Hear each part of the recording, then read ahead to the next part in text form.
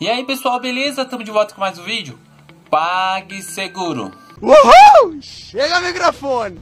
Se você ainda trabalha com essa minizinha e não quer gastar mais comprando as modernas para usar o código QR, É claro. dessa vez eu vou ensinar você a usar o aplicativo Minhas Vendas para utilizar o código QR para você não perder as suas vendas, hein? Vamos lá?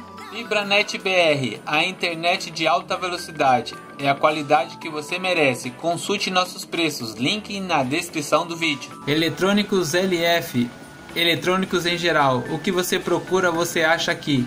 Link na descrição do vídeo. Ok, vamos abrir o aplicativo Vendas. Colocar um valor simbólico de 50 reais. Ok. Cobrar.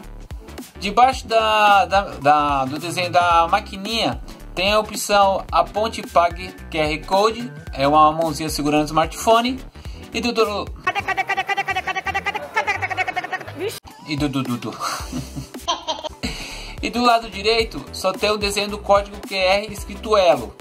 O que significa? O do lado esquerdo é para os clientes que também possuem conta na PagSeguro, ok? Então você vai acionar o QR Code com o símbolo da mãozinha segurando o smartphone ok? Se for de outras bandeiras, você vai usar o QR Code escrito Elo do lado direito, beleza? Aí, Irineu! Assim você não vai perder a sua venda e você não vai ter que investir comprando outra maquininha.